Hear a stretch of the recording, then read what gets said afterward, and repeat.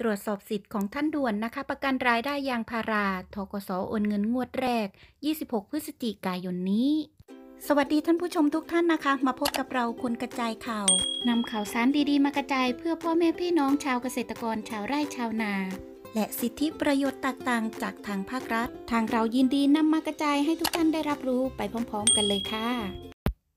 ตรวจสอบสิทธิประกันรายได้ยางพาราทกสโอนเงินงวดแรก 26 พฤศจิกายนนี้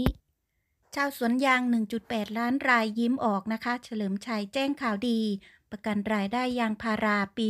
2 ทกสโอนเงินเข้าบัญชีงวดแรก 26 พฤศจิกายน ตรวจสอบสิทธิ์ที่เวอร์ไวเว็บที่ท่านเห็นอยู่นี้นะคะ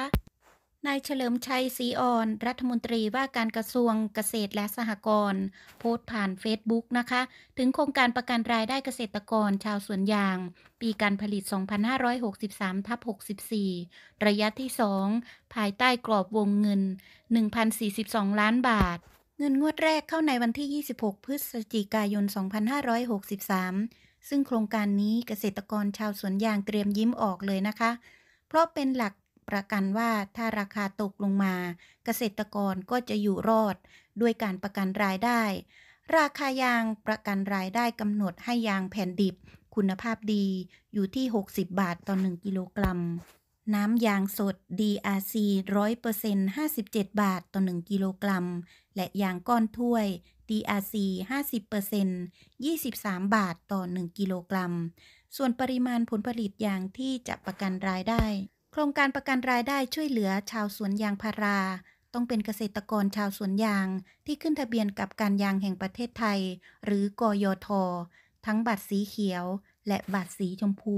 ซึ่งแจ้งข้อมูลพื้นที่ปลูกยางพาราภายในวันที่ 15 พฤษภาคม 2563จำนวน 183,487 ราย พื้นที่สวนยางกรีดได้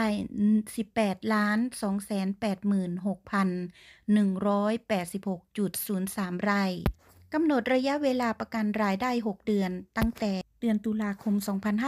2563 ถึงมีนาคม 2564 ดังนั้นพี่น้องชาวสวนยางลองตรวจสอบสิทธิ์ผ่านเว็บไซต์ หรือลิงก์ที่ท่านเห็นอยู่นี้นะคะ ภายในเบื้องต้นก่อนหากสงสัยหรือไม่พบข้อมูลการขึ้นทะเบียน ก็สามารถติดต่อสอบถามเพิ่มเติมได้ที่ กยทสำนักงานใหญ่ กยทจังหวัด หรือกยทสาขานะคะ ทั่วประเทศ และทั้งหมดนี้ก็คือข่าวสารที่คนกระจายข่าวนำมากระจายในวันนี้ ตรวจสอบสิทธิ์ประกันรายได้ยางพาราทกสโอนเงินงวดแรก 26 พฤศจิกายนนี้ ขอขอบคุณทุกๆ การติดตามรับฟังและรับชมนะคะ FC เก่า FC ใหม่ ก็อย่าลืมกดติดตามพร้อมทั้งกดกระดิ่ง เพียงเท่านี้ท่านก็จะไม่พลาดคลิปใหม่ๆ จากทางเราคนกระจายข่าว ขอบคุณค่ะ